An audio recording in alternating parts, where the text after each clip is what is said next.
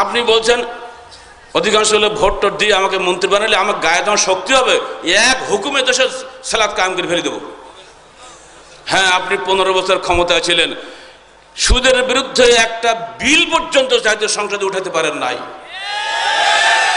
মন্ত্রী অসত্য ক্ষমতা আপনার নাই, কিছুই বলতে পারেন নাই। আপনি এমন সংবিধানের শপথ গ্রহণ করেছেন যে সংবিধানে আল্লাহ নাই পৃথিবীর সকল সংবিধানে যখন শপথ গ্রহণ করেছে তারা, সর্বোচ্চ শক্তির নামে তারা শপথ গ্রহণ করে। হিন্দুরা ঈশ্বরের নামে, ভগবানের নামে শপথ গ্রহণ করে। আর বাংলাদেশের নাইনটি পার্সেন্ট মুসলমানের দেশে, এদেশের এমপি, মন্ত্রীরা কেউ আল্লাহর নামে শপথ গ্রহণ করেন না। সংবিধান খোলেন, শপথ অধ্যায় বের করেন, একশো ছেচল্লিশ পৃষ্ঠ অনুচ্ছেদ দেখেন, কি বলা আছে সেখানে?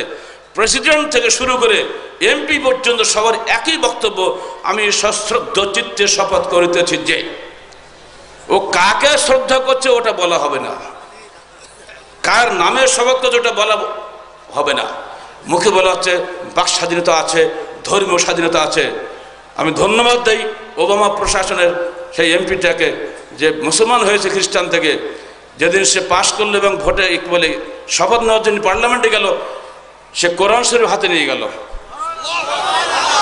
সমস্ত খ্রিস্টান এমপিরা বলে কি হয়ে ছেলে? করো কি তুমি এগুলো? এ কি নিয়ে এর মধ্যে? তরুণ ছেলে দৃপ্ত কণ্ঠে বলে উঠল, আমি মুসলমান হয়েছি, আমার সংবিধানে ধর্মীয় স্বাধীনতা আছে, আমি কোরআন দিয়ে শপথ গ্রহণ করব, আপনাদের সংবিধান দিয়ে শপথ গ্রহণ করব না। তাকে কেউ ঠেকাইতে পারে নাই, সে কোরআন নিয়েই শপথ গ্রহণ করেছে। বাংলাদেশের মুফতিরা, কোথায় তোমরা? মুফতি মুবাসের কোরআন মহাদ্দেশ তোমরা এমপিগিরি করো, মন্ত্রীগিরি করো।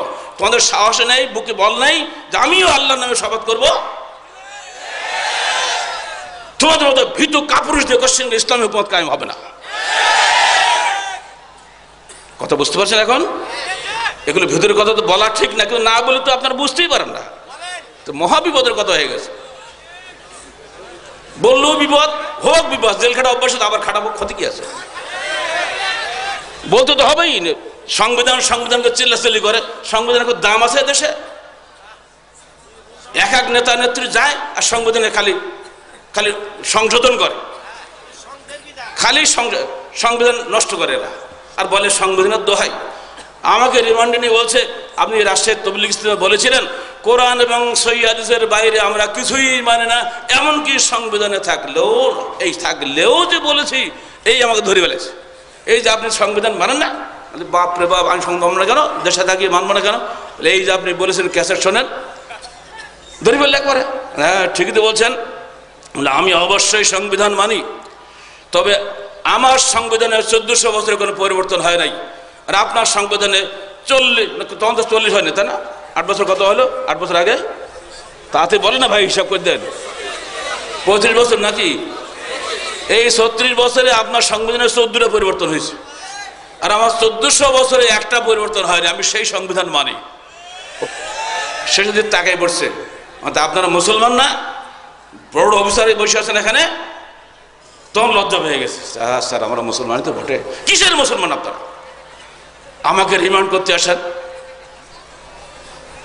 কি বলতে চান আপনারা? মানুষের তৈরি সংবিধান, একে মানতে হবে। এর উপরে আমার হায়াত মত বিন্দু করছে। ফাঁসি দেন দেন, কিন্তু ওই সংবিধানের কোরআন হাজির বিরুদ্ধে যদি হয়, আমি কিছুই মানতে রাজি না।